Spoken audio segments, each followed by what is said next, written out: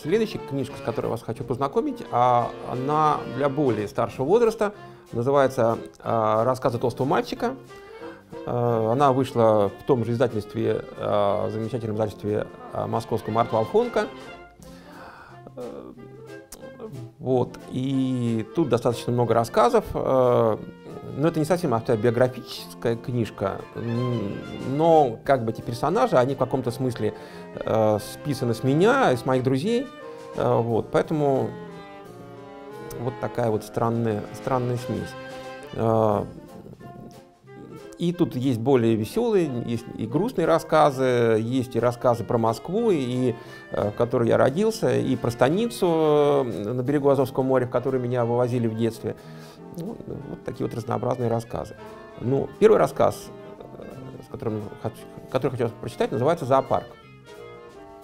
Я родился мальчиком в родильном доме номер 9 в Марьиной роще. Это Москва. Мальчик, сказала акушерка Ефросиния Федоровна и поправила на моей руке бирку из розовой клеенки, привязанной бинтиком. Прямо бегемот какой-то, а не мальчик. На клеенке чернильным карандашом было написано «Мальчик, 56 см, 4.5 кг». Мне на такси привезли домой и положили на черный дерматиновый диван, на высокой спинке которого стояли 16 фарфоровых слоников. У самых крупных слонов были отбиты бивни.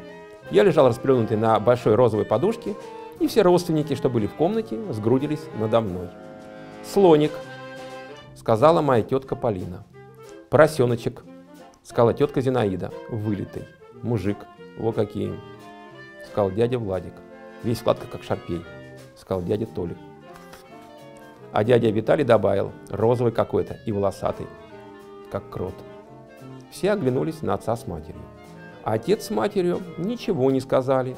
Они хотели девочку. И потом меня им уже показывали. Да запеленайте вы ребенка, простудите, протиснула скамье тетка Вера. Вот бесы, чего столпились-то? Не в зоопарке. И стала запеленывать меня, ласково пощипывая за упругую младенческую попку. Свинка ты моя морская, ути-тю-тю.